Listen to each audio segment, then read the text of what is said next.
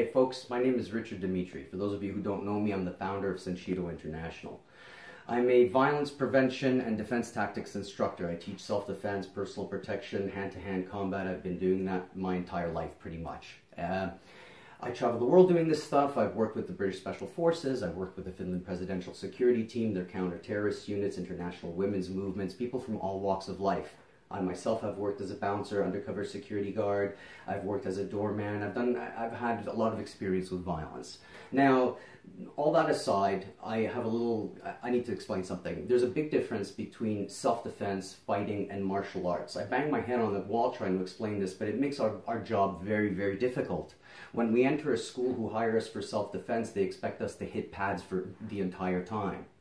Self-defense is not fighting combatives and hand-to-hand combat and it's not martial arts. It's like comparing tennis, badminton, and ping pong. They're three different games. So are these animals. They're three different animals. Self-defense isn't about hurting another human being. Self-defense isn't about winning. It's not about losing. It's not about who's right or wrong. It's not about who started it. It's not about justice or revenge or about uh, punishment or vengeance. It's not about any of that. Self-defense is about survival, it's about going home at night, or it's about stopping the other person from hurting you. It's not about hurting them, but stopping them from hurting you.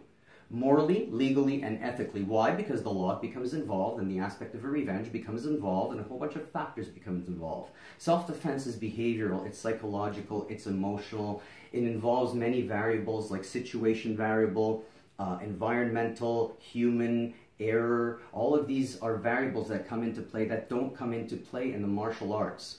While you're sparring in MMA, no one's going to stick a knife in your back, shoot you in the back of the head, smash a beer bottle, snatch you, right? It doesn't happen that way. The environment changes.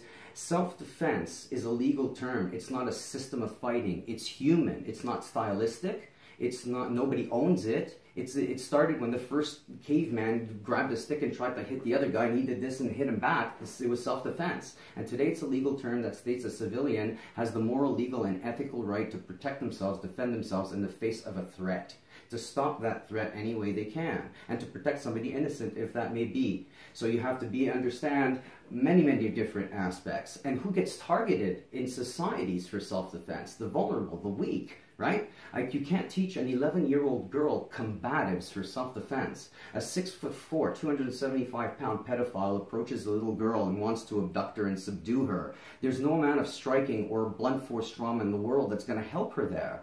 A two-year-old, three-year-old child becomes victimized by his grandfather or his uncle, a family pedophile, from that age on, and he starts to intuitively feel it's wrong, but the pedophile gives him blood. It's not, he's not beating up the child. In his brain, he's loving the kid. Now, of course, the kid intuitively knows this is wrong, but the grandfather, the, the uncle, whoever the pedophile tells him, no, no, it's okay, it's natural. Now the kid believes him, and this is a family member, right? Is this kid gonna, you know, hammer an elbow or fucking headbutt?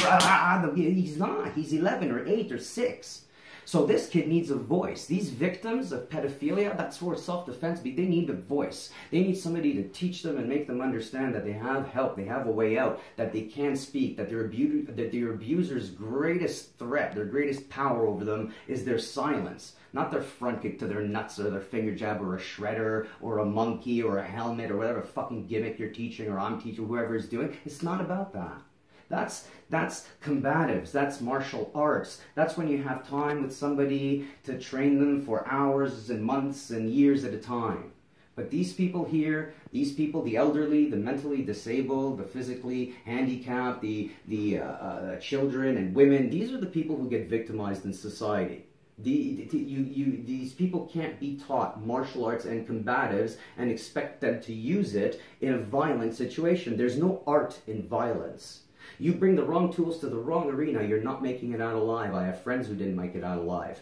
They brought the they were proficient fighters. They brought martial arts tools to the arena of violence. There's no culture, no discipline, no tradition, no athleticism, no respect in violence. It strikes at any time. It comes in many different formats. In 99%, okay, that's a little high there, but a vast majority of the people who victimize women, sexual abusers and assaulters and rapists, the woman knows who it is. The number one cause of murder for females on planet Earth is a male relationship. How do you how do you attach it into a woman's brain who's been victimized for three years in a domestic abuse situation to finger jab her husband in the eyes? She needs more than that. She needs to understand and learn self-defense, not combatives, not martial arts. Combatives is great for cops and bouncers and military personnel. Great, I, I'm complete. I respect that. There's a place for it. But don't sell what you're not. I don't sell my self-defense system. I don't teach self-defense as combatives and vice versa. Why? Because I respect my client. I'm not going to fucking lie to them.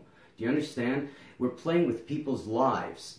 And, and, and people are hiring us expecting different things because the media, our industry, and people, A, can't tell the difference, and B, perpetrate the wrong thing. And that makes our job very difficult.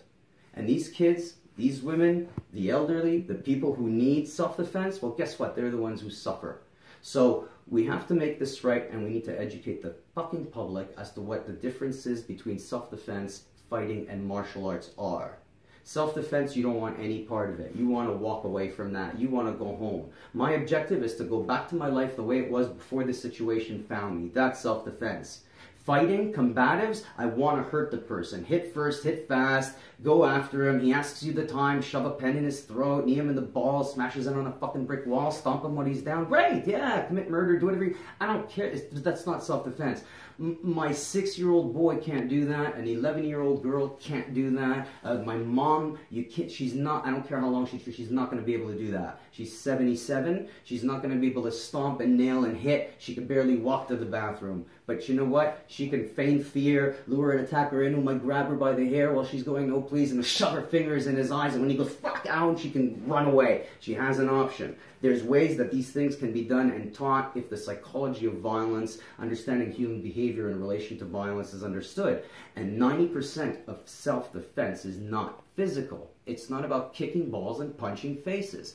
It's about understanding prevention, and giving victims who are presently going through the hell a voice and a way out, giving the survivors of this shit the courage and the understanding that they're capable to prevent it from happening, ever happening again, and stopping the ones who have ever happened to from ever happening to them. Prevention.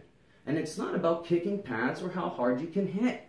Because if somebody's in a wheelchair, if somebody is blind, they still have the right to learn self-defense. Why? Because it's not stylistic. It's not a systematic. It's not cultural. It's primarily human. Self-defense is human. Okay? Spread this fucking message. Share it. Make it viral. Make my job easier. Thank you.